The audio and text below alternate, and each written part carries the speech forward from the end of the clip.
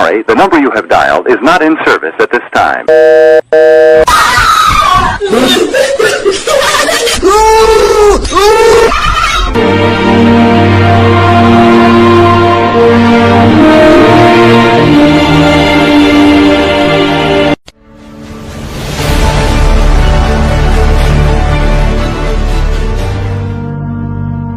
ushobora kuba warabyumvise ku ishuri cyangwa se ukaba warabyumvise mu biganiro nka wari uzi ko ndetse n'ibindi ibiganiro bivuga ku miterere y'isi. Isi ifite imiterere yihariye kandi itangaje umuntu atapfa kumenya atabanje kwiga ibyerekeye isi. Geogarafi ni isomo ryaje rikemura icyo kintu. Abantu benshi bifuza kumenya isi biga geogarafi ukigera mu mwaka wa mbere w'amashuri yisumbuye isomo rya mbere uhasanga rikunzwe riri mu masomo y'ingenzi ni isomo ryitwa geogarafi geogarafi ni isomo cyangwa se ijambo risobanura isomo ryiga imiterere y'isi. Ijambo geogarafi ryaturutse mu ijambo ry'ikigiriki ryitwa geographiya geographiya ni inyunge y'amagambo abiri. Geo ndetse na graphiya geo bikavuga isi graphiya kwiga cyangwa se gusesengura. Wabishyira hamwe bikavuga ko geography ari isomo ryiga ibyerekeye isi.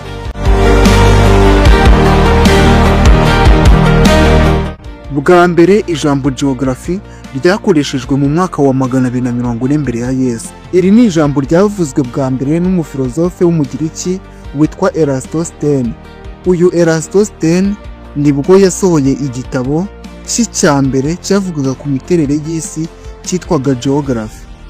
Ugendeye kuko mu mashuri babyigisha geography ni inyandiko yose cyangwa se igitabo cyose kivuga ibyerekeye isi.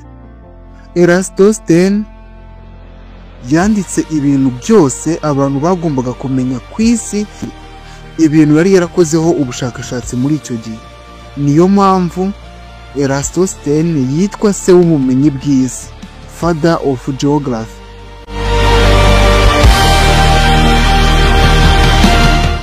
Muri iki kiganiro ntabwo turi bukoreshe cyane ngo isomo ry'ubumenyi bw'isi ahubwo tubakoresha ijambo geography kugira ngo byumvikane neza. Niyo mpamvu inshuro zose turi buvuge geography wumve iryo somo rivuga ibyerekeye isi. Geography rero ikubiyemo ibyiciro bibiri. Icyiciro cya mbere ni icyiciro cyiga ibintu kamere bigize isi hanyuma icyiciro cya kabiri kikiga ibijyanye n'umuntu ndetse n'ibikorwa bya muntu. Icyiciro kivuga ibijyanye n'imiterere y'isi kamere ari cyo cyitwa physical geography. Kikaba cyiga ibintu abantu babona ariko batagira icyo babikoraho. Bimwe mu byo biga ni nk'imigezi ibiyaga ndetse n'ibishanga ibintu byose bijyanye n'amazi drainage. Nanone biga ibijyanye n'ibimera bakiga ibihe ndetse n'imihindagurikire yabyo ndetse bakiga ibijyanye n'ikirere. Nanone biga imiterere y'ahantu nk'imisozi ibirunga ibibaya ndetse n'imirambi. Nanone muri kino gice cyiga imiterere kamere y'isi biga isi ubwayo ni ukuvuga ibigaragara ku isi ndetse n'ibigaragara mo imbere mu isi ndetse n'ibigize isi ku gice tubona ndetse no ku gice tutabona. Nanone biga isi ubwayo ndetse n'ikirere cyayo. Nanone iri somo rikomeza risuzuma ibibera mu nda y'isi endogenous process ndetse n'ibibera inyuma y'isi. Exogenous process amabuye ndetse n'ubutaka ibi byose byigwa muri kino cyiciro cy'ubumenyi bw'isi cyiga ibijyanye n'ibintu kamere physical geography.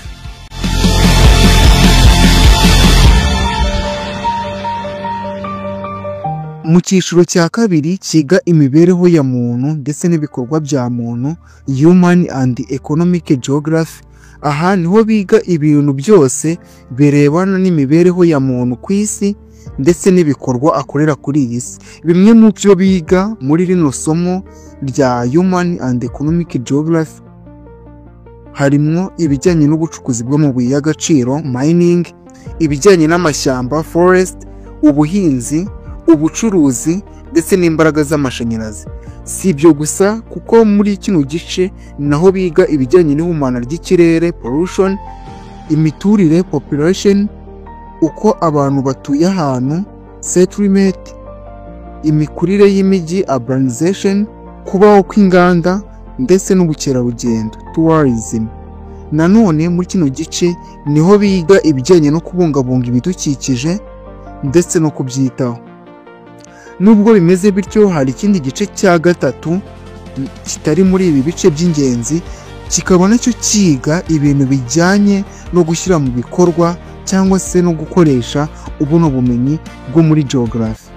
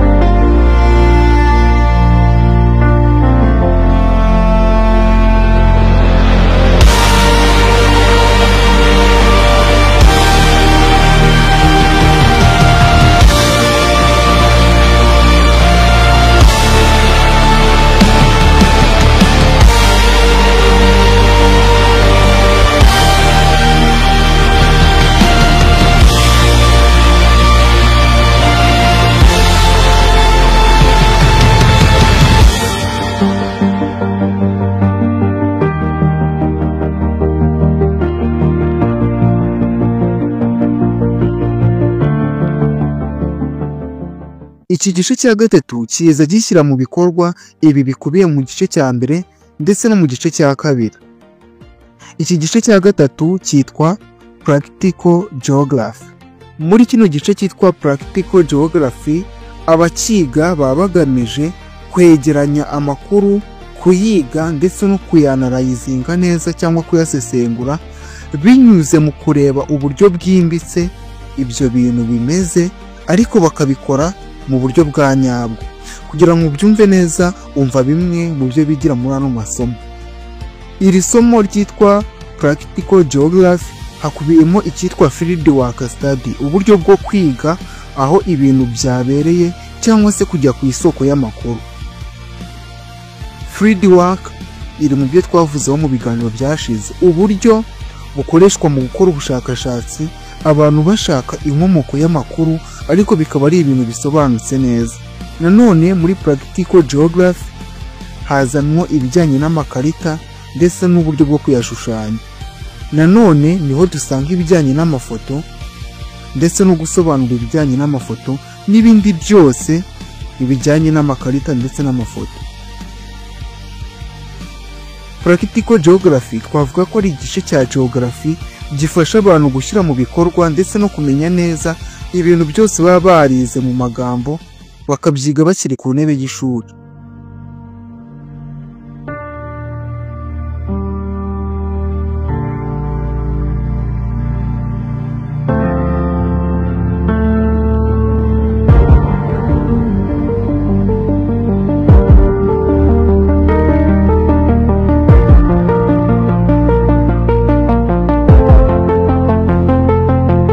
Ese wari uzi ko geography ituma abayiga bakanguka mu ntekerezo? Ibi bituma bamenya byinshi ndetse bakabasha no kubisobanukirwa. Nanone geography ituma tumenya ibirenze ibyo tubona hano ku isi. Ubumenyi butangwa muri rino somo ryitwa geography cyangwa se ubumenyi bw'isi budufasha gusobanukirwa neza ibidukikije ndetse n'ibindi bintu byinshi tutari tuzi.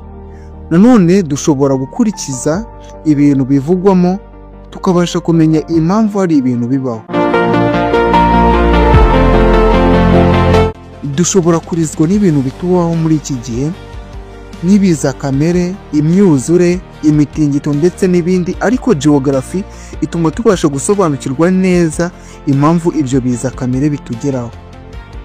Kumenya neza imiterere y'isi bifasha za leta kumenya icyo bakora mu gihe igihugu kiri mu bihe by'amage nanone by'umwihariko iri somo ryiga imibereho ya muntu ndetse n'ubukungu.